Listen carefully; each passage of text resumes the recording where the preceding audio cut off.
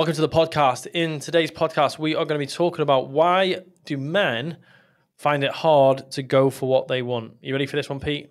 Yeah, absolutely. This is something that uh, I think just it's just a, it's a general question that we raise in AMP a lot. What the fuck do you want? And oh. um, and every guy, every guy struggles to answer this. This is it's a fucking hard question, and it's a consistent question that is always evolving. And um, we've got a few. We've got five five areas we're going to cover today on why uh, men find it hard to figure this one out. Yeah, I think that if you're listening to this podcast, this is something that's coming up more and more uh, with with clients uh, and myself as well. You know, I think I definitely, uh, you know, I write this and I do reference my own experience when, when we do these um, and we talk about them. And Pete can share in a second about him. Is like, I I find that getting really clear on what I want is the first step in any process of transformation. So, if you're listening to this and you want to change your life, if you want to start accelerating your success, if you want to let go of stress, if you want to avoid that feeling that you're not going anywhere and you're going in circles, this is going to be a great podcast for you to listen to and go and take action on one of the things that we talk about as well because I think that sometimes you can get get caught in the theory and not move into action. So let's just dive straight in. Do you want to, do you want to share anything before we get in there, Pete? Yeah, I'll, I'll share quickly here because I think this is important, and this has come up for me multiple times because like figuring out what the fuck you want is like there's so many areas.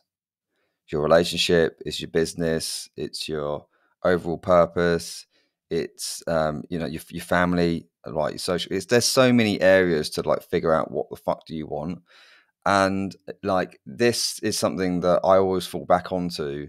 Is that for me personally, it is absolutely about creating the man that I would admire and then bringing him into the world. It is ultimately, it is closing the gap between who I am now and who I know that I can be and consistently doing that. So then that's like my that's like my over overdriving purpose. That's that's the overarching thing. And then underneath that, there is all the subcategories of relationship and business and so on. But if as long as I'm just consistently going towards that top thing, it helps me make decisions. Yeah, I love that. I, like, uh, it just reminds me of that. Create the create the man that your boy self needed. it's just like I think we talked about that before. Okay, so let's just dive into the question: Why do men find it hard to go for what they want? And, and I think to answer that question, why do they find it hard? Is I think that they've gone for things in the past and it's not paid off. So if you're a guy that struggles to articulate easily, this is what I want, that you've gone for something in the past, it hasn't come into fruition, you've failed, and the easier choice that you've made is just to tell yourself that you don't want these things anymore. And it's easier to create a narrative like, like that. It's like the um, living disappointed versus being disappointed. I'd rather live disappointed because it's it's a low level pain rather than go, being disappointed. Now, for example, like in a relationship, living disappointed is committing to singleville. You know, it's like, oh, you know, I don't need a partner, and I know the pain of being lonely, and it's like a ten percent pain that I I know that I can survive. Versus being disappointed, going up to somebody and them saying no to you, and that painful in the moment, seemingly you know, hundred percent pain I'd rather choose the the the, the chronic disappointment than the acute disappointment. And I think that's something that a lot of guys, especially, and I, and I, I saw it in body transformation, where guys would tell these ridiculous stories about being fit and healthy, and that it wasn't for them, or you know, when they reached a certain age, that they couldn't achieve it, and it was just a defense mechanism because they'd, be, they'd experienced that in the past. Yeah, but also if they've experienced um, like pain in the past, like okay, here's an example for me is on relationships. Right in my late in my late twenties, I had my heart broken. It was the first time that happened. I'd, I'd managed to go until I was like 28, 29 um, for to real feel like um, intimate painful love where I'd actually, I, I literally felt my fucking heart break. And um, it was horrible. And that um, was difficult for me to then move into relationships after that, thinking, fuck, do I want to go full in again and then risk that happening again? The easy, the easier route for me is to not go full in, maybe just dip my toes in, or stay single. Yeah. Oh, the first heartbreak is pain.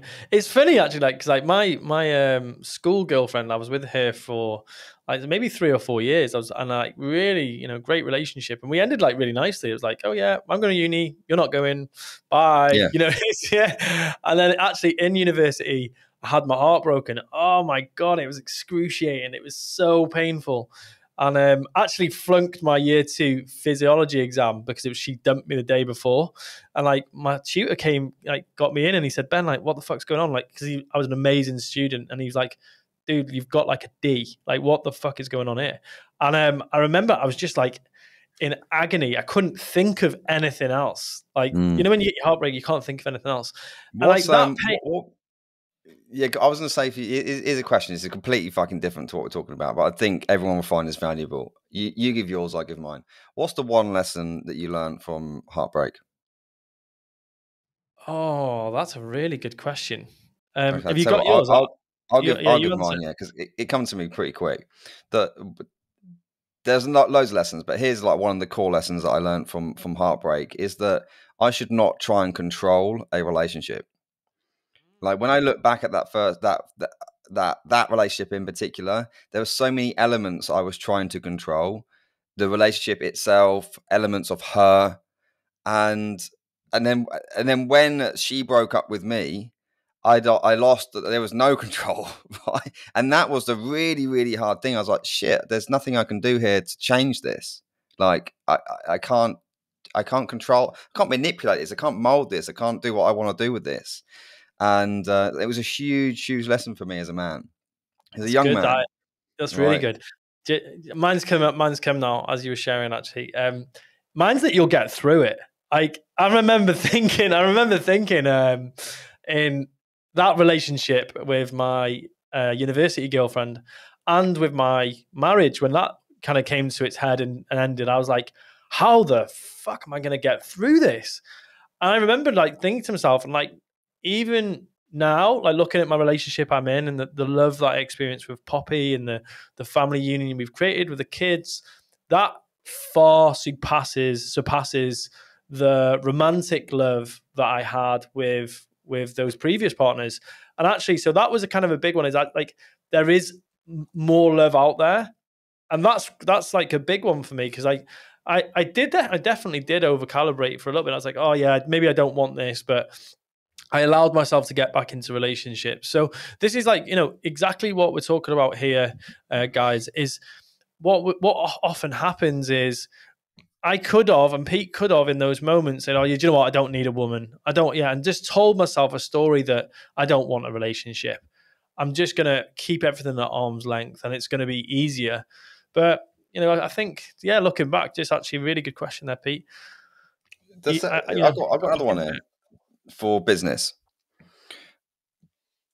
and let's just say that you you run a business, and in the past you've employed people, you, you, right, you've, yeah. you've you've grown your team, and then it hasn't worked out for whatever reason. The team the team member has left. Um, you, or you just had bad experiences, but they might have been a fucking great hire, and then they've left or it might have been just loads of bad hires. Like it's so freaking easy to make bad hires. You make more bad hires than you do good.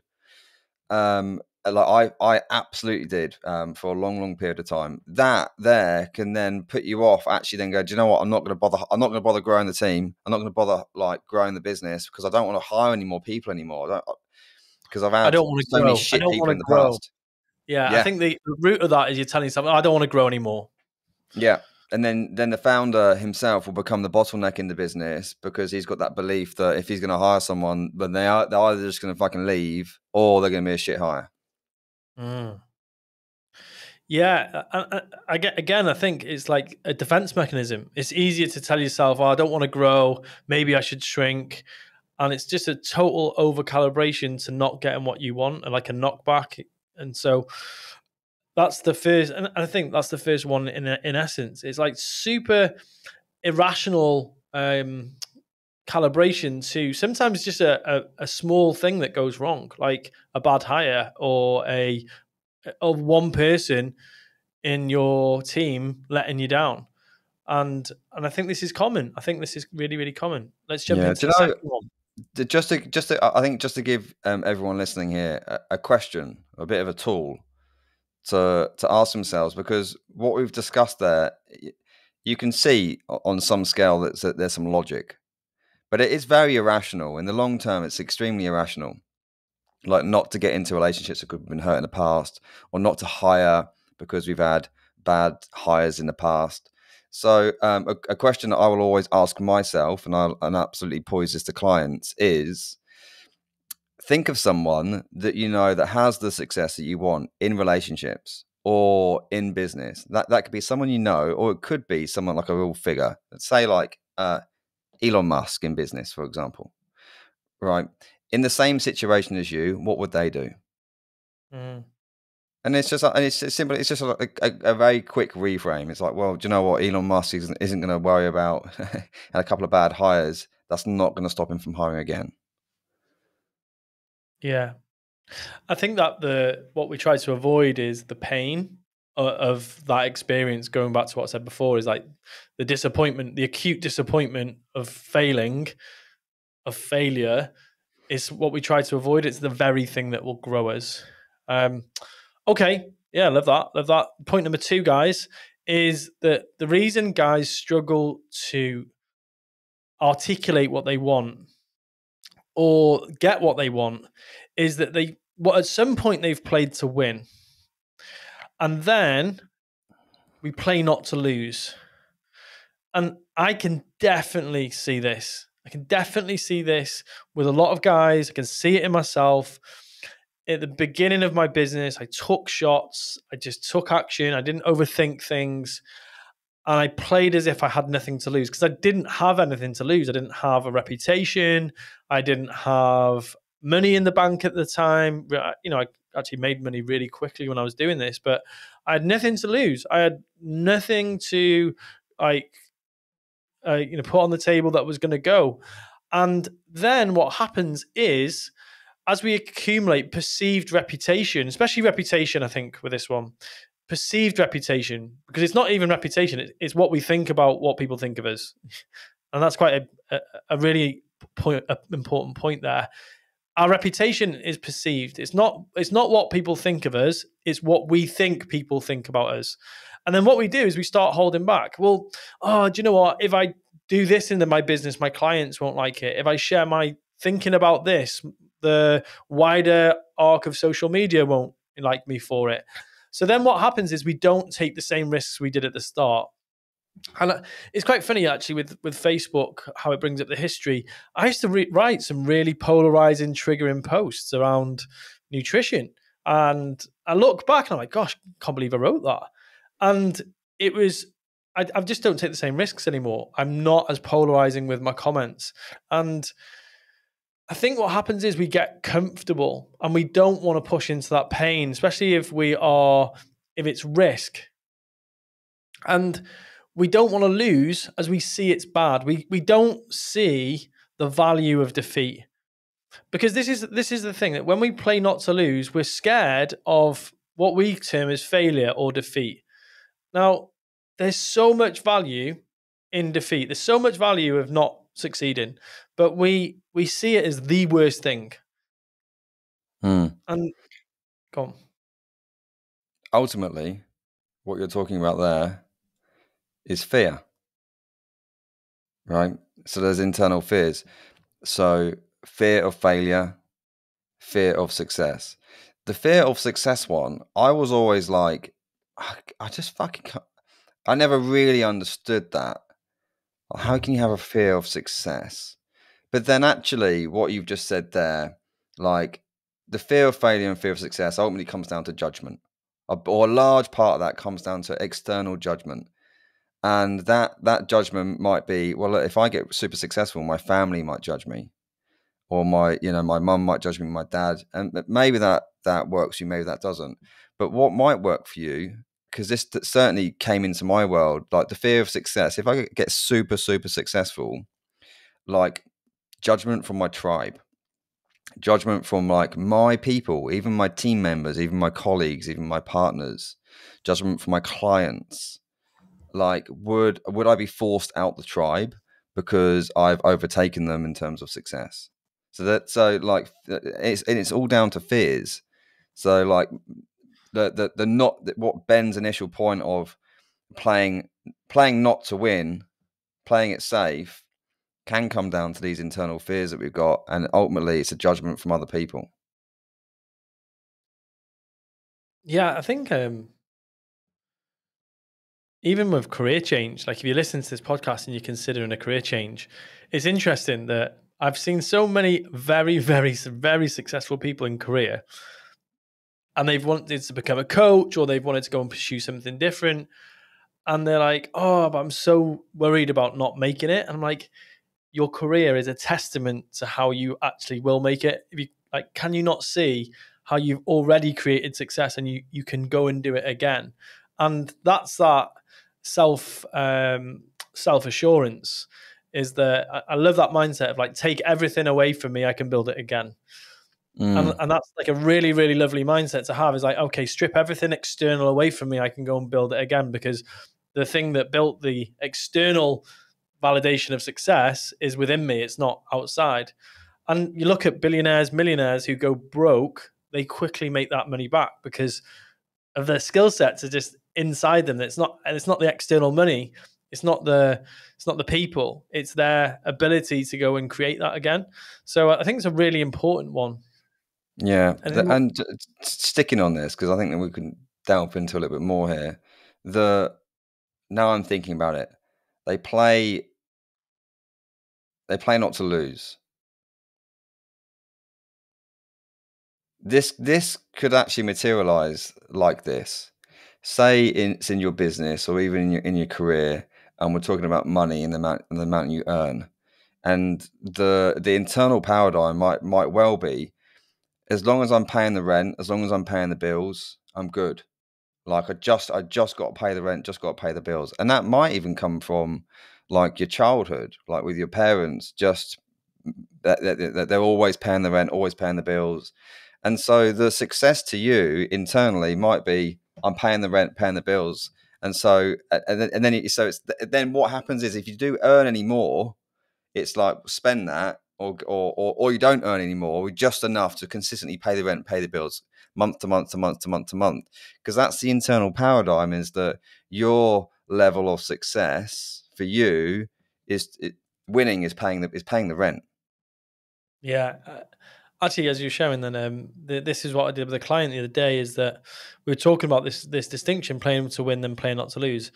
What got them to be successful was taking shots, creating loads of different opportunities. But I think at every point, at a certain point, in a, as a business owner, you have to let go of some of the the things that you've got on your plate.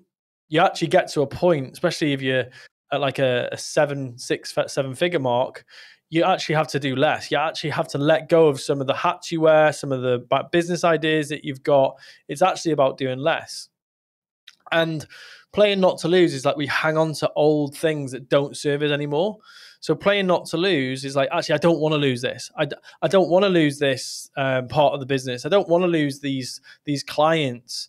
And actually, in 10x is easier than 2x.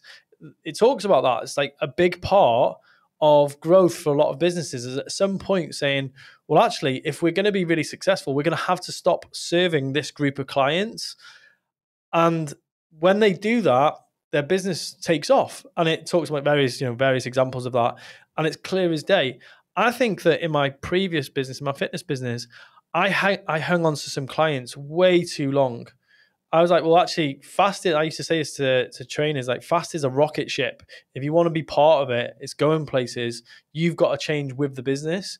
We can't be hanging on to old stories, patterns about how things were.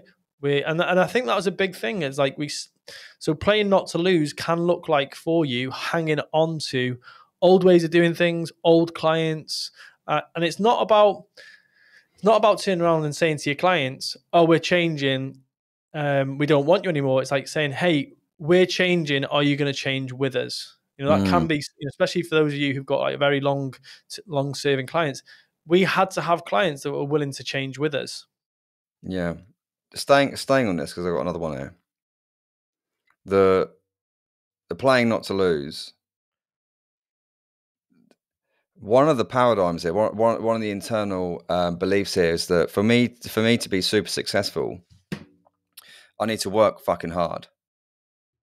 And we and we hear this a lot on on on, on social media. You got work hard, work hard, work hard. Um, it, it may have even been drilled into you from your parents, like like work hard and so it can it could feel like that you are undeserving um, of of building like substantial wealth because you haven't worked hard enough. It's like, well, when I when I was younger, I saw my mum work like for thirty years just to get by. I like I haven't done thirty years of work yet, so I, have got to do. Or my dad worked twenty years just to fucking just to like support the family. He worked fucking hard. You know, my mum was working two jobs. That that's hard. That's hard work. I haven't done that. So until I, until I'm allowed to get until I've I'm deserved of earning that substantial wealth, I have to work hard. But the but the internal barometer for working hard is something that is could be pretty illogical. It's something that's made up and something that's subconscious.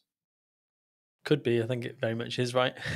yeah. Like... yeah, yeah, absolutely. But I see, but I see, you know, even in myself, right? I work fucking really hard, and I can see it in so many guys that come into the awakened man, the heroic, heroic man. They're all like, I need to work harder. I need to work harder. I need to work harder um, yeah. to to to earn the money. But actually, yeah. it's like, hey, you can you can work super super smart. Like uh, I've seen businesses go to seven figures like in a year and then I've seen other businesses go to seven figures in ten years. Uh, and it's just like different markets, different times, different different forces, different luck, smarter working, and it's like all all these things come into it. And yeah, if you're not careful, you can fall into that. Oh, I need the. I have to work hard over a long period of time to then be deserved of the the winning. Yeah, uh, um, this is bringing up a really good point. Actually, I um, went to a physio. I told Pete about this before. I went to a physio yesterday, and I remember when my when I was um, he was an, like this guy was a strength and conditioning coach and physio, and I my model was okay. I charged fifty pound at that time for personal training, which I thought was a lot. You know, I thought it was a lot per hour at that point in my life, and I was like, okay, well, actually, if I get my strength and conditioning accreditation, if I get my masters, if I get my teaching degrees, then I'll be able to charge 55 pounds an hour or 60 pounds an hour. And that was my model of so I had to do a lot of work just to be able to charge 10 pound more. And actually I just like reflected on this and as I was talking to the, the guy that was doing the work with me, I said actually yeah, I, you know, I probably charged 10 times what I charged 10 years ago. And I and it just dawned on me when I was driving home. I was like, oh yeah, I, I my minimum fee is 10 times more than I was charging 10 years ago, thinking that that was a lot of money. And I'm mm. doing less. And like, and that was for me, it was like, oh yeah, I have gone 10x. I have gone 10x in the last 10 years and and some, like and way some. And I was like, wow, that was a really, really nice little moment. And, and I think that like that is from playing to win. I've I've constantly looked at like actually I don't want to try and defend that rate. I want to continuously play to win. Um, and it and I can, I can see that. And I think if you're listening to this, look at um, look at how sometimes we take a safe bet not to do that kind of 10x. Like I'll play, I'll, oh, do you know what? I'll just go for the job just above mine in case I get the rejection or I don't get the actual work. So we, that's playing not to lose. Whereas playing to win, saying like, well, actually, where can I go and get 5x my salary somewhere? Where can I go bold? Let's jump into the next one.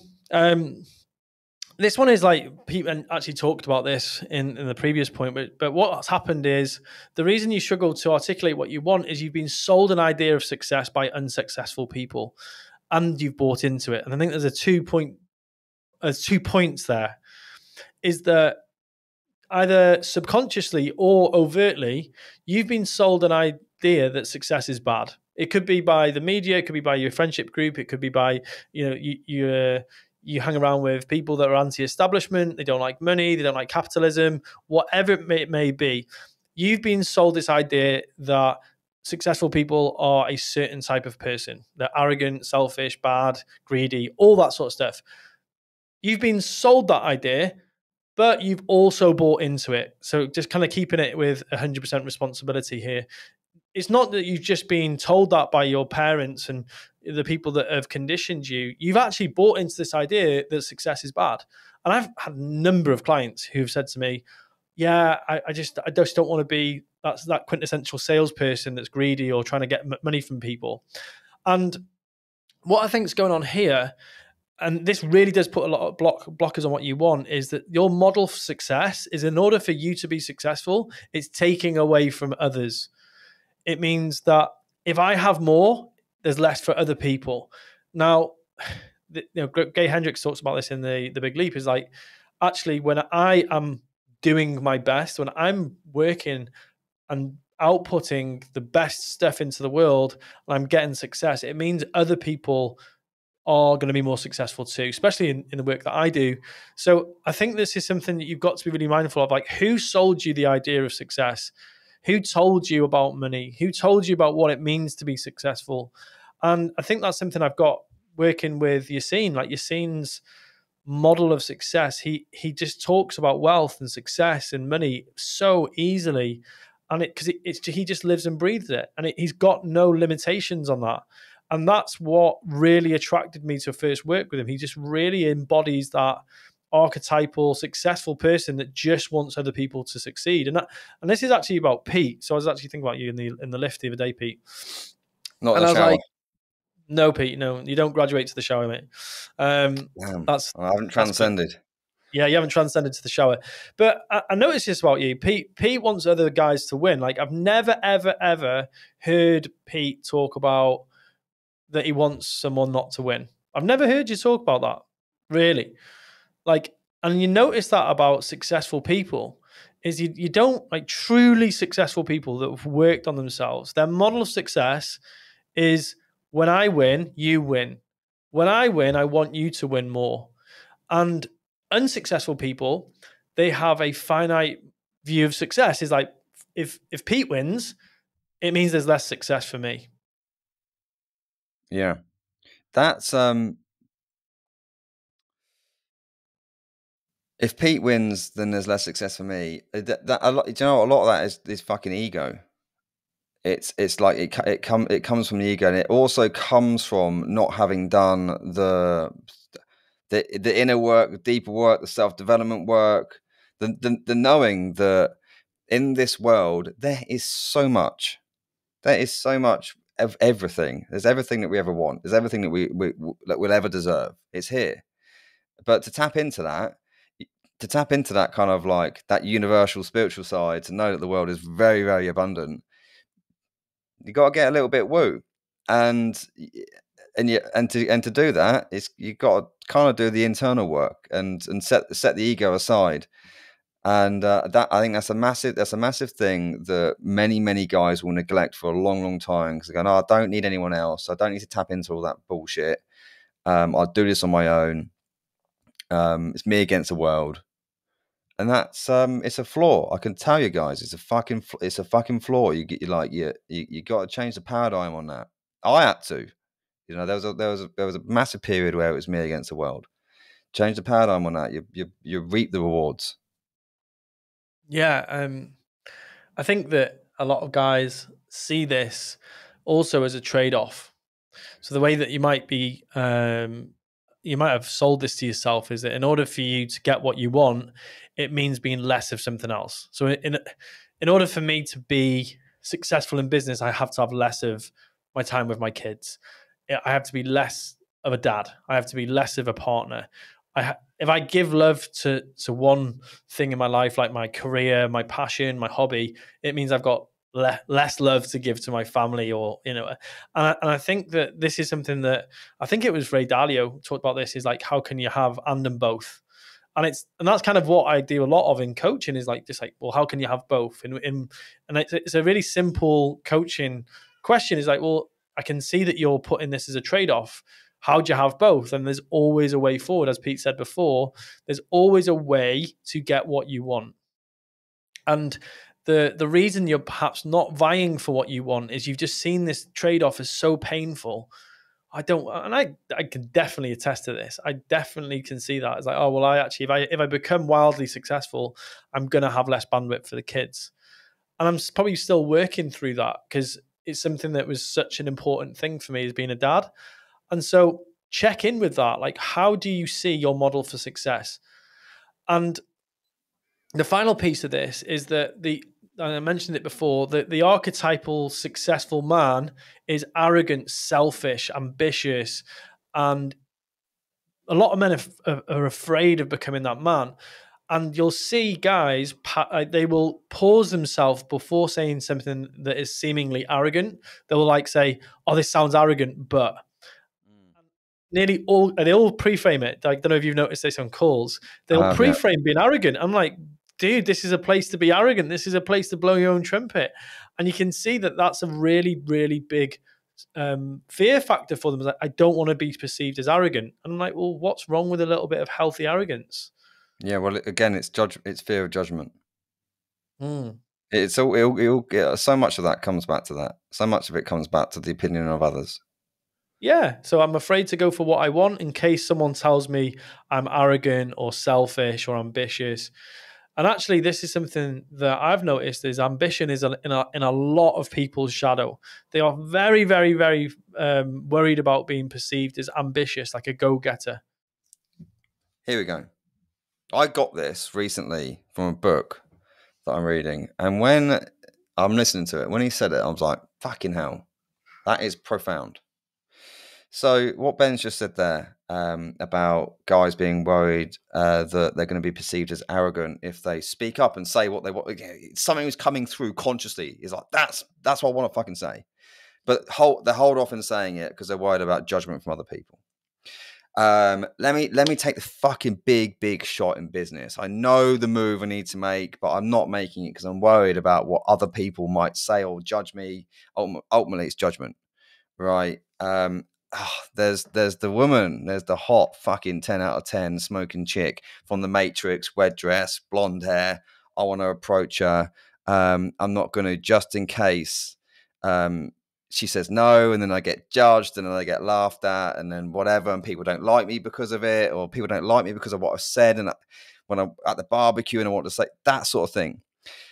Here's the thing about here's the thing about life is that for us to fulfill what I said at the start of the call, our ultimate potential, close the gap between who we're being now and who we are meant to be, bring our best versions into the world, we, we're actually going to be disliked. And they're like we're we're we're going to get it. And if you are not living a life where you are being disliked by some people, you are not living to your full. You're, you're really fucking not, and and use it as a barometer it's like actually how many how many people are disliking what I'm saying right now, or what I'm doing, or how I'm acting, how I'm behaving? I'm not saying go out there be a complete dick. That's you, you know that's not what I'm saying. But go after what you want, and there's going to be some people that will absolutely love you and and and and praise you for it and push you forward, and there'll be some that don't. Actually, funny enough, I, I messaged um, someone messaged me the other week. Um, well, who was it? It was a friend from home, and um, and I went to reply to him, and I, I wasn't a friend with him on Facebook anymore. And I was like, dude, just noticed we're not friends on Facebook. Have you had a clear out? And he goes, mate, I unfriended you because I c- couldn't deal with watching your sunny videos in the morning. it's like, and I was like, he's like, we're still, we're still mates. And I was like, touche, absolutely great. And and I actually realized that. And, and I felt I felt like it was a weird it was a weird moment for me. I was like, oh yeah, I put these happy, you know, walking past the pool, sunshine in the morning in Dubai. Pete's living in Reading, you know, dreary Reading mornings. It, it will it it's will trigger some people. Yeah, yeah. exactly. I think that's you, are dead on, you know. And I, I think I've been. I've been a little bit afraid of that in the past, of like being disliked, because I've had a few moments, a few times in my life where I've had that verbally said to me by people, like, "Oh yeah, you, you you've said this, it made me feel like this," And I, at that point, I was caretaking for other people's emotions. I don't do that anymore. If someone dis- dislikes, it's coming from their own perspective. Yeah, yeah, yeah. You're, yeah, yeah. yeah. We were talking. Me and Ben were talking about this the other day in the car because so, someone had messaged me. Uh, you know what I'm talking about the the fucking self righteous little twerp um, that messaged me, telling me I had a tiny heart and I'm coming from the ego. Uh, right, and uh, Ben was like, "Go kill him with kindness. Just go back and just be super kind." I'm like, "Nah, fuck that. He's having it." I don't, I, I but that's Ben's so much better at like calling. I my my lid goes. I'm like, nah, he the guy the guy is getting it. But also, I know that uh, there's some people that will just go, I just don't get that Pete. I just he's too fucking intense. Like I just don't get the way he operates. Don't like it. And but there's uh, but I get so many guys that like, oh, I fucking love the intensity. That like I I actually need that in my life. So yeah. it's it's it's cool.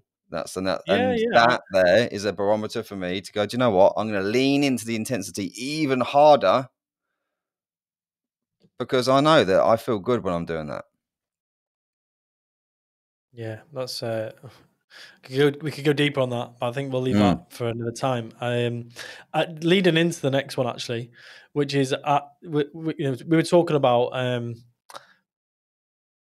what you know Pete's Porsche. We were actually we were like we were, uh, on that conversation we were talking about this guy had reached out to Pete and talked about his Porsche, and actually one of the conversations we had was like Pete bought a Porsche because he loved the Porsche. Like this guy, you know, he talked about Porsches for God knows how long, and he could, you know, he he bought it because he wanted it, and that's the next point, is that guys guys don't go for what they want because they think it has to be justified.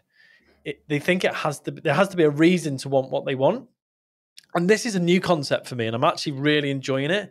And actually, this is this this this messes with people. Oh, well, you know, why do you want that? Because I want it. And actually, this is something that it is such a new concept, and, and I'm actually practicing this myself. It's like I, I drop into trying to justify why I want what I want. Like, why do I want a new Wrangler? I do want a new Wrangler. I, I love the look of the car. I was a bit. I was literally about to bring that motor up because we spoke yeah, about yeah, it yeah. in Crete in like September. I'm like, I'll get, get the car, man. yeah, I'll get the car. I'll get it. I'll definitely get it. Um, it's and it's it's irrational. It's not a logical purchase. It's it's you know it's heavy on gas. I had one in the UK. Um, it was like a, it did like 10 miles to the gallon in the UK, you know, I, I, and I, and actually when I, you know, when I, when I got divorced, I sold it. It was not the right car, but I'm out here in Dubai, fuel's cheap, love the car. And there's, if you think about this, there's never going to be a real rational reason for wanting what you want at least to another person. Like for Pete, for Pete having a Porsche, for me, it's a, it's irrational. I don't get Porsches. I'm I'm not a Porsche guy. Can I can I say something? You, you like drive it. you fucking drive it, and you'd be like, "Oh my yeah. god, I, I, can understand." Um, this morning, I could see the light peering through the blinds. I was like, "Oh, it's light outside." So undo the blind, right on the front of the drive. I could just see, just see the the white GT4 glistening. And I had a little fucking moment. I was like, I felt good. No, it's no one else there. It's just literally me and the dog. All right, Leo's not even up yet. It's just me. And I, and I, was like, fucking hell, that looks good. Yeah. I, but that's me. It's no one else. There's not, yeah. Uh, it's not on social media. It's no nothing. And honestly, like it gives me that. I like, I wanted that thing. It makes me feel good. That's like, uh, get, and I get those moments. You can yeah, have those moments, Ben. Oh yeah, uh, uh, it's never been a Porsche. If you were to say to me, if I, if I had to list out like the top ten cars, Porsche would not come in the top ten. Why? Because I don't need to justify that either. It's just it's it's totally okay to want what I want, and that's why I don't judge people on their wants. Like I really have got good at that, and like I love that statement. You do you. it's just like kind of like yeah. I'm like you do you. Like I, I know I really I really love that statement, but this is the problem with guys. They they they think that they need to justify it to their partner, the like the the greater good, the like the the wider world. There needs to be a justification, and I want it needs no because. And like when you get good at this, you'll get better at being able to articulate what you want. Uh, honestly, like for me to say, like I said about wanting the Wrangler, before I got into this practice, would have been like, yeah, I want it because you know it's fun or it can go on the dunes or it looks cool. I'm like, I don't know. I've just got this calling to buy one, and um, and that's it. That's, that's all I need. And that was yeah, it's it's been quite a it's been a really helpful mindset for me. but We're going to get some messages now from guys. Cheers, men. Fucking Mrs. divorced me. Went out and bought a GT3 yeah. RS. So yeah, or, or a, don't buy a Wrangler in the UK. It's so thirsty. It's so thirsty. I'm, I remember I bought it, and on the first day I beached it trying to go up a, a uh, like a like like a, a, ramp, and I was like, oh, I feel like such a wally. Um, anyway, okay, so don't you don't need to be justified. And then the final one, and and this is quite an important one, is that you've got out the habit or you've lost your orientation to what you want because you don't have a goal. Like you know, we talked about it in the first one. You stop setting goals because at some point you told yourself, I I just don't want this pain of of not achieving what I wanted to achieve. So what's happened then is you've just got lost. And I was talking about this on Heroic Man this morning. So by the way, just a little quick plug for Heroic Man. It's seventeen dollars now, which I think was crazy. We, we dropped the price because we just wanted to get more men to experience what we're talking about. So if you listen to this podcast, if you've got $17, which is the same price as Netflix, and you want 15 minutes of training every single morning, Pete, myself, and Yaseen, we do a 15 minute mentoring call. And I was talking on that 15 minute mentoring call this morning about orientation to your goal. What's really important about orientation is that if you've ever done something like a marathon, a 10K, a 5K, you know when it's in the calendar, you start to change your training, you start to think about that that goal and you and you notice as you get closer towards it you get more intense. Like pete maybe i'll talk about this with his jiu-jitsu. I used to have it with running. At certain times of the year running was way more on my mind. I would get way more intense around my thoughts about what i needed to be doing my training. It would really sharpen me up the problem is is that when we have no goal we have no orientation to something we're not moving towards something in our perceived future so what happens is we lose or like we lose where we are, and that's like being on a on a mountain with no top, and it, it's scary. Like I don't know if you've ever walked on a mountain and, and it's the fog set in. When you lose the orientation, it, it's scary. You feel really, really, really lost, and I think that's what happens with a lot of men is they've got no goal, they've got no orientation, and they've also lost momentum. So that is why they get depression, anxiety, suicidal ideation. They are fucking lost.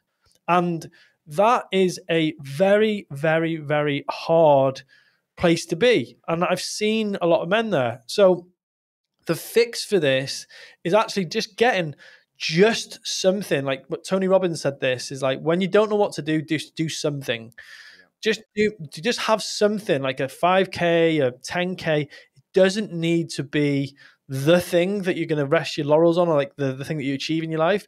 It just needs to be a positive way to move forward. And i can guarantee that doing that thing will get you in forward motion. And like fitness goals are great for this especially if you're a guy that you're out of shape. Body transformation we've talked about on previous podcast. And then what happens is you get your orientation back, you get momentum, and then that's when you start to get better at you know saying what you want. Yeah. Here's the other thing. Let me just add to that on something to do here. And this isn't a plug. Fuck it, it is a plug. It like re- reach out to us. I, I, I, literally I've had two guys this week. Pete, I'm feeling a little bit lost. Don't know where I'm going. Um, can we can we chat? Or it doesn't have to be us. It might, it might be someone else that you're following. No, you're really aligned with. No, reach out to us, Pete. But I, yeah, I'm, I'm, in, all, in, all, fucking seriousness, yeah. if you, it's like get get get on the right path, sort get some fitness out, get a get a goal, and then just and reach out to someone that can help you. We're very, yeah. very, very good at it because we've, we've done this now for three years. Thousands of guys that listen that listen to our work in our in our groups that we help with all this stuff. We're good at it. Get a mentor, get a coach. Yeah, and I, I, do. I think you know I'm I'm very very aligned with saying reach out to us. I think we're better than a lot of men at what we do because Pete is incredible at operationalizing goals and visions. Like literally, he's got a almost like a what's the word for it? He got a is a, is a defect. it's, it's a, I understand the matrix. the guy, the guy sees in the matrix, and I and I'm like amazing at helping you take the step in front of you. Like, um, and and between the two of us and Yaseen there's a, there's a real powerhouse of of guys that can help you first of all get your get your goal get the orientation to the goal and take those next steps so it, it's a really important process to get through and, and if you're listening to this and you are lost reach out don't struggle in that space for too long. It's not a healthy place to be. Uh, I know Pete um, was mentioning to me the other day, like, and I've had the same thing. Guys reaching out saying, "Listen, I'm really, really struggling emotionally," and it's when you hear a guy talk about that, I'm almost like straight away, I know what's going on. They've just lost that orientation to their goal. They don't know where they're going in life. Things aren't going the way they want it to go, and they start to be nihilistic in the way that they see life. It's like, oh, it's got no point, and that's one of the most dangerous places to be as a man. So there are the they're the, the five key things I think are coming up for me recently, and like why you're struggling to articulate what you want. And if you've enjoyed it, feel free to reach out to us after the podcast, continue the conversation. Uh, please like and subscribe. Honestly, you know, the more likes, subscriptions we get, the better the guests we can get and uh, serve you guys powerfully. Thank you so much for listening. Cheers, Dane.